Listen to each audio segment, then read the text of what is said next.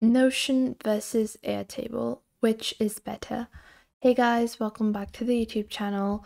Today we will be going over the two platforms of Notion and Airtable and which is better suited for you.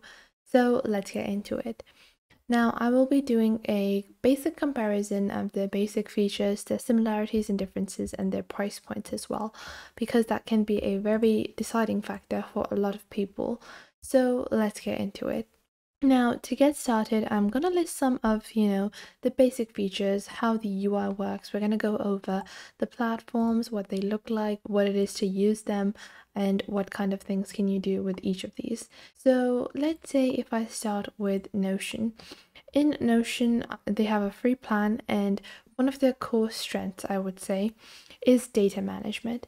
If you have a lot of data, it is simple and easy to manage it all on Airtable while on Notion, it is more so knowledge management.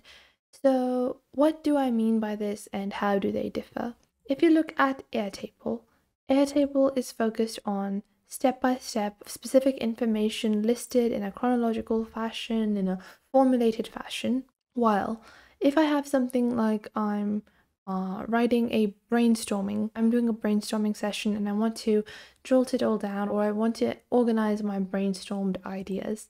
I would use Notion to do that. So Notion focuses more on managing knowledge while Airtable focuses more on managing specific data and specific accurate information tidbits. Now moving on to the next part on Notion. Notion has over 20 integrations available. So you can integrate multiple different applications with Notion. You can go into your connections. You can, you know, use Zapier to connect uh, multiple different applications as well. However, this is a big con that I have with Notion personally they don't have inbuilt integrations. While Airtable is way ahead of them in this category, Airtable has seven built in integrations, plus, they have their own app market where you can integrate multiple different applications directly into your Airtable Airtable bases. So it just simplifies the process a lot. And personally, if I'm using something and I need to integrate my Google Calendar or integrate maybe my Google Drive to manage my files. It's just super easier with native inbuilt integrations. Now, the next thing with Notion is that it involves a learning curve.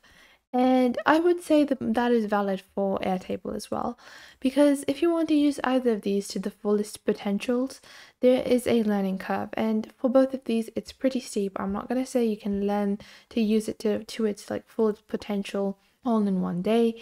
In terms of similarities, they both have multiple different views, as you can see over here.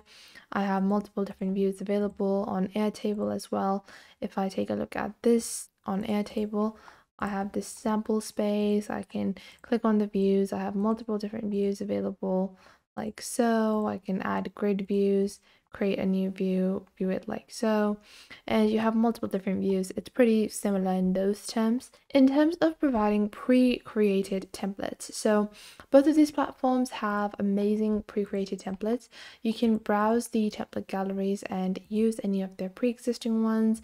Airtable definitely has it for more niches. So if you have a business idea, anything like that airtable probably has a um, basic template for it so in terms of template uh, niches, categories, I would say Airtable has more, but Notion does have quite a few. So I wouldn't say that they don't have any. They do have quite a bit uh, available in terms of support, sales, human resources, marketing, HR.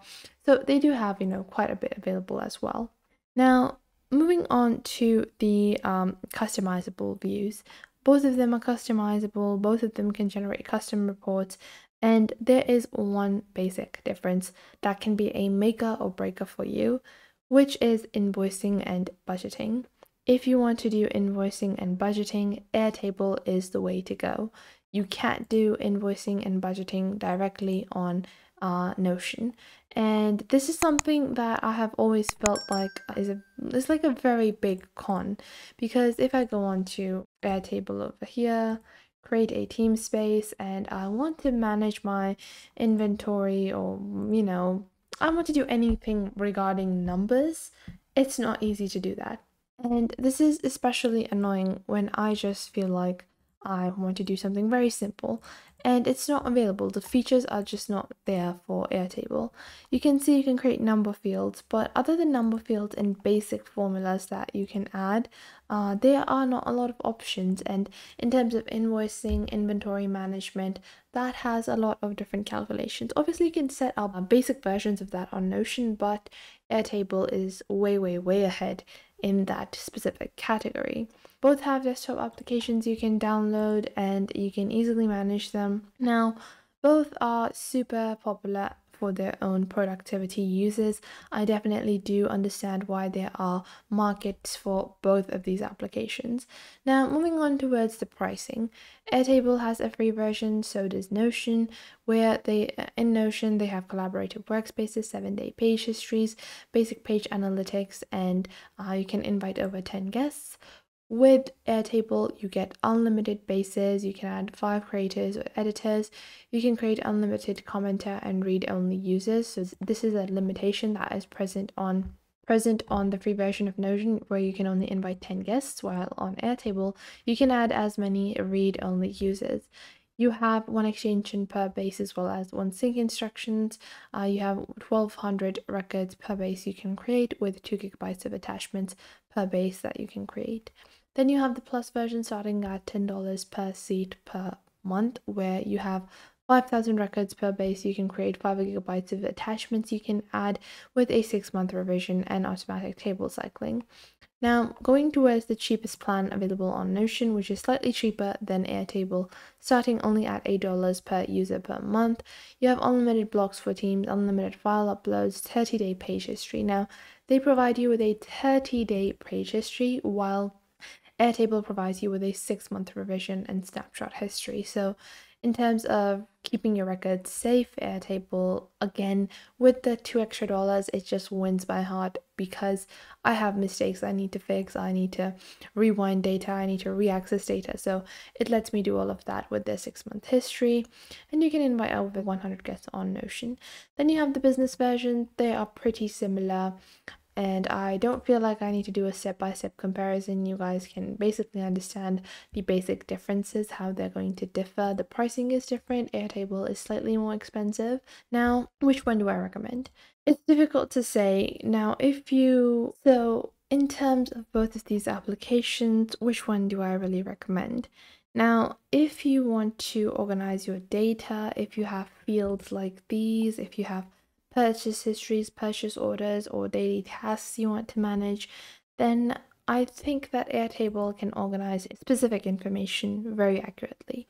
But if you're trying to build your daily routine, then you can organize your knowledge, ideas, things you're learning, things you want to do easily on Notion as well.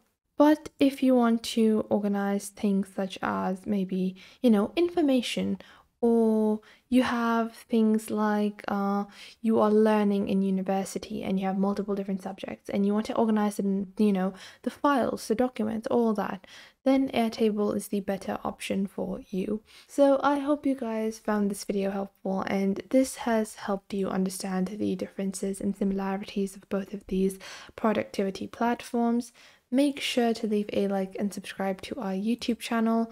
And if you have any questions or queries, leave those in the comment box down below. I would love to help you guys out and also share this video with a friend.